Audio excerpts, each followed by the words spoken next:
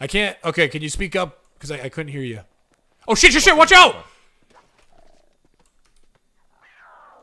Are you fucking serious?